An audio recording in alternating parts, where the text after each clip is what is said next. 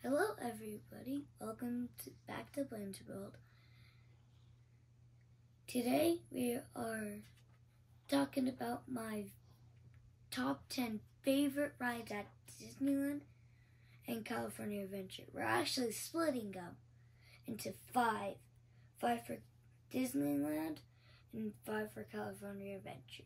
So let's start with Disneyland. Number five is Haunted Mansion. I like Haunted Mansion because the ghosts are having the best afterlife. Next one, Mickey's Runaway Railway. I like this because it's long, it has all the main characters, and it has finally Pete. Number three, Teacups. I like teacups because I spend time with my mom. It spins. It's not long enough though. And at night, it is super, super fun. Okay, moving on. Number two, Space Mountain. I like it because it's dark, fast, super fast, and I sometimes pass out. Number one, Big Thunder. Fast, dark, doesn't go upside down.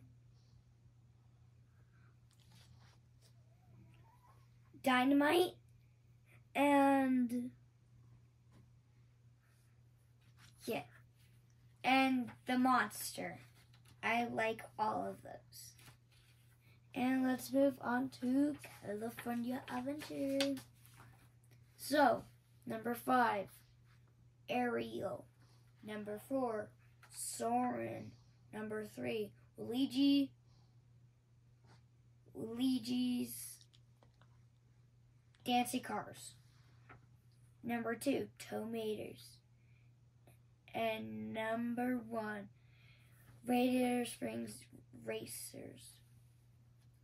Okay.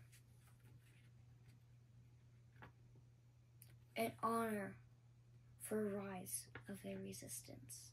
That is my sixth, but we don't. We're not gonna do that just yet.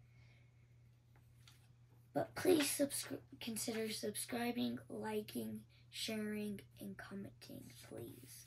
That would really mean a lot to us. Thank you for watching for Blainez World. Bye!